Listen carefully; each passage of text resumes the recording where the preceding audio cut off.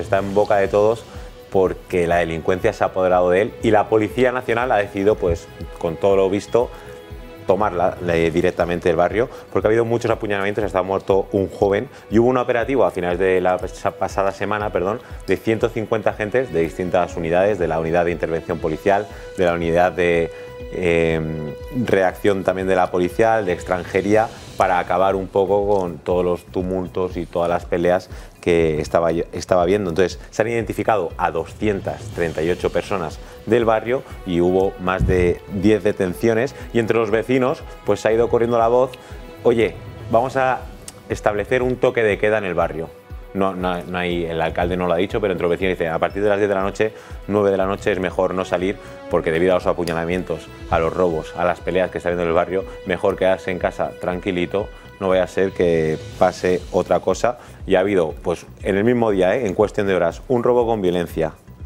una persecución con cuchillo y un apuñalamiento mortal, como he dicho antes, donde falleció el joven. Estamos viendo que España pues está haciendo eco de otros barrios, que normalmente hablamos mucho de Barcelona, ¿no? de la delincuencia de las calles, y ahora pues estamos viendo como aquí en este caso en Orriols, porque es un barrio que tiene eh, diferentes etnias, conviven gitanos, eh, españoles y de origen musulmán, y está habiendo bastante jaleo, digamos. Una, una, Yo creo que Bukele debería venir al barrio. Bukele yo creo que lo arreglaba en 10 minutos, pero vamos, Mm, tampoco es que convivan etnias como españoles y gitanos. ¿eh? Mm. En, Granada también había serán moros o, gitanos españoles. En Granada había hay muchos gitanos españoles. Y lo resolvió Isabel, de Castilla. Y muy bajos. ¿eh? Que en Granada había todas esas etnias y alguna más y tenían algún fueloncito y lo resolvió Isabel de Castilla, la conquistó fuera.